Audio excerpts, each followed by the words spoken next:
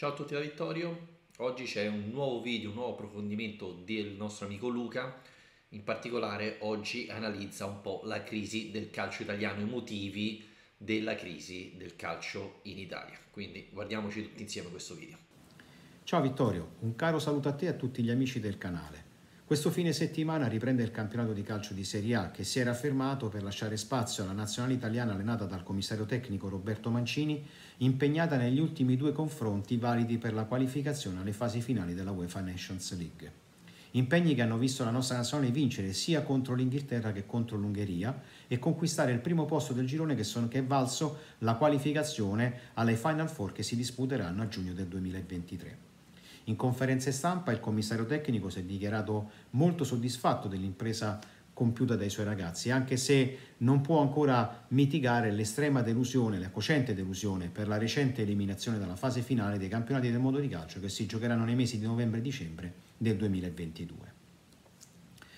Eliminazione che fa il paio anche con quella della gestione precedente della nazionale allora allenata dal commissario tecnico Ventura che perse gli spareggi così come la nazionale di Roberto Mancini non poté qualificarsi alla fase finale dei campionati del mondo che allora si giocavano nella federazione russa. Ad onore del vero e a parziale giustificazione dell'allora commissario tecnico, che si vide contro stampa, critiche e tifosi, va detto che allora la nazionale nel girone di qualificazione pescò la Spagna, che sicuramente era un avversario eh, di livello, e poi fu eliminata negli spareggi dalla Svezia, formazione contro la quale noi storicamente abbiamo sempre sofferto. Questa volta la nazionale, anche vincitrice dei recenti campionati europei di calcio, aveva un girone, era stata inserita in un girone sicuramente molto più abbordabile, ma soprattutto ha perso lo spareggio contro la Macedonia del Nord, una nazionale che nel ranking mondiale non occupa una posizione elevatissima e che qualche anno fa scontrarsi con questa nazionale lasciava presagire molto probabilmente più facilmente a una goleada che a una sconfitta. La doppia eliminazione consecutiva, ancorché parzialmente mitigata dalla vittoria dell'Europeo del 2020 apre sicuramente uno scenario di crisi del nostro calcio che non è più capace di imporsi a livello internazionale. Nel passato era successo solamente un'altra volta, nel 1958, che la nostra nazionale non riuscisse a qualificarsi per la fase finale dei campionati del mondo che all'epoca si giocava in Svezia. Ad onor di cronaca va anche ricordato che in un'altra occasione la nostra nazionale non partecipò, erano i mondiali del 1930, ma allora fu una decisione politica della Federazione Italiana Gioco Calcio in aperto contrasto con la FIFA che aveva assegnato l'organizzazione della fase finale dei campionati del mondo all'Uruguay e non al nostro paese. I fattori che eh, sono alla base, che sono all'origine della crisi del calcio nazionale fondamentalmente sono due e che poi in cascata per effetto domino ne aprono degli altri. Innanzitutto un fattore organizzativo che affonda le sue radici alle conseguenze dovute alla legge Bosman. Per chi non fosse a conoscenza della situazione, facciamo un piccolo excursus storico per spiegare di che cosa si tratta. Bosman era un giocatore belga che militava nel Liegi ed era a scadenza di contratto e trovò un accordo con il Dunkerque, una squadra francese, la quale però si rifiutava di riconoscere qualsiasi indennizzo economico a Liegi per il passaggio del giocatore presso le, la, la, le, le proprie fila. Invece le norme europee all'epoca vigenti della UEFA prevedevano anche il riconoscimento di un indennizzo per le società cedenti giocatori a scadenza di contratto. Da lì Bosman si rivolse alla Corte di Giustizia europea, dall'altra parte della sbarra l'UEFA, supportata peraltro da tutte le federazioni dell'Unione. L'UEFA si difese dicendo che il riconoscimento di un indennizzo alle società cedenti, ancorché di giocatori a scadenza di contratto, erano alla base delle strategie economiche e dei bilanci delle società di calcio professionistiche sotto egida UEFA. Emettendo il proprio verdetto, la Corte di Giustizia europea non soltanto andò contro l'UEFA salvaguardando il diritto di Bosman, ma disse anche che un giocatore a scadenza di contratto non solo non ne andava riconosciuto niente alla società cedente, ma poteva accordarsi senza nessun tipo di indennizzo con, la, con una futura società a partire da sei mesi prima la scadenza dei contratti. Siccome i contratti di calcio scadono il 30 di giugno, questo vuol dire che un calciatore oggi all'interno dell'Unione Europea può sentirsi libero di accordarsi con un'altra squadra a partire dal 1 gennaio dell'anno in cui il suo contratto va in scadenza. La Lazio in questo fa giurisprudenza attraverso il caso De Frey, che si, è che si è accordato nel mese di gennaio e febbraio con l'Inter l'anno proprio che il suo contratto andava in scadenza con la Lazio.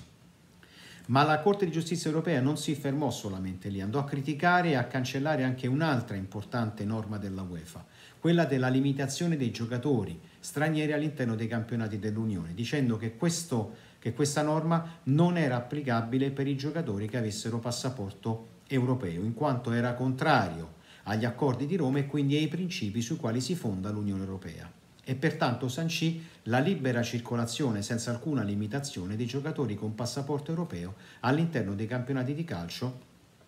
del, dell'Unione Europea stessa. Questo ha portato sicuramente che cosa? A invadere il nostro campionato di giocatori stranieri e siccome la legge Bosman si estende anche ai settori giovanili, anche ai vivai che sono adesso permeati di giocatori con passaporto non italiano. Questo ha comportato sicuramente una riduzione del bacino d'utenza all'interno del quale può attingere il commissario tecnico per poter fare poi le convocazioni e quindi a poter eventualmente scegliere i giocatori migliori per poter eh, affrontare le competizioni di livello, eh, di livello internazionale. E poi il secondo fattore è di livello economico che in cascata ne attiva diversi altri. Come ben sappiamo tutti, oggi le società di calcio professionistiche basano i propri guadagni, la maggior parte dei propri guadagni dai diritti televisivi, che oggi sono squilibrati a livello europeo, che vede la Premier League prendere quattro volte quello che guadagna la Serie A italiana, tre volte la Bundesliga tedesca e il doppio della Liga spagnola. Questo impoverimento generalizzato ha portato che cosa? Innanzitutto i giocatori migliori a scegliere la Premier League per ovvie ragioni di opportunità, in virtù del fatto che le squadre della Premier League, anche di seconda e terza fascia, sono in grado di offrire contratti molto più ricchi rispetto agli altri campionati. E quindi porta a un impoverimento proprio di livello tecnico del nostro campionato, dove i nostri giovani non si allenano e non giocano più ogni domenica con i giocatori più forti come succedeva negli anni 80 e negli anni 90 ma soprattutto ha portato i presidenti delle società di calcio ad adottare una politica, se mi consentite il termine, più consumistica e quindi a comprare calciatori già pronti all'uso e non investire più nei settori giovanili non soltanto nelle primavere, ma quello che oggi viene a mancare da un punto di vista proprio organizzativo a causa della mancanza di fondi è proprio quella rete capillare di società satelliti che ogni squadra di Serie A aveva e che consentiva il monitoraggio a livello comunale, provinciale e regionale, quindi a tappeto a livello territoriale e che poi avrebbe portato i migliori, che portava i migliori giovani a giocare poi nelle competizioni nazionali all'interno delle società di club che avevano come prima squadra una squadra di Serie A o di Serie B. Oggi tutta questa rete capillare non c'è più e pertanto non crescono più giovani.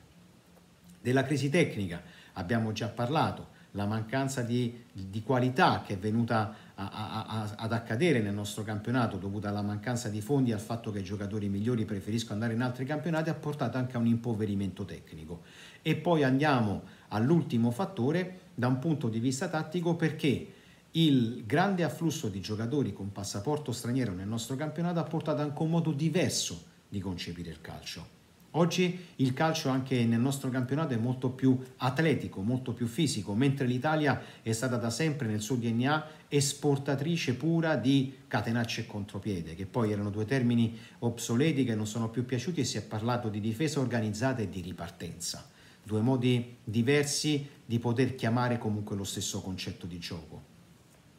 C'è stato in passato qualche altro tentativo da, per, poter, per, poter, cambiare anche la filosofia del nostro calcio a livello nazionale, quello fatto da Rico Sacchi che aveva convinto la federazione anche a interrompere il campionato per consentire lo svolgimento di stage che coinvolgessero, che coinvolgessero tutti i giocatori in orbita nazionale per poter lui spiegare quella che era la filosofia e la sua idea di gioco avveniristica che era stata portata nel Milan. Salvo poi ricredersi proprio nel momento in cui ha, è stato chiamato a giocare il campionato del mondo di calcio del 1994 dove si è affidato anche lui, nonostante applicasse una tattica di 4-4-2 di fatto ad una difesa organizzata per poi affidarsi all'estero di Roberto Baggio e Roberto Donatoni e poter così poi arrivare fino alla finale che ha perso solamente i calci di rigore. Quindi anche lui si è convertito alla difesa organizzata e alla ripartenza. Ma anche i recenti successi della nostra nazionale, pensiamo alla nazionale del 2006, è stata dovuta sicuramente ad un gioco fatto molto molto all'italiana con una difesa molto organizzata, molto solida e con dei contropiede ben organizzati. Basta ricordare quel famoso, eh, quella famosa diciamo, eh, telecronaca di Fabio Caressa che parla in semifinale contro la Germania del doppio intervento di Cannavare e poi il contropiede di Gilardino e il gol di Del Piero che sanciva l'apoteosi della nostra, della nostra nazionale. Quindi eh, cos'altro dire? Una, eh, una crisi sicuramente che in questo momento ci vede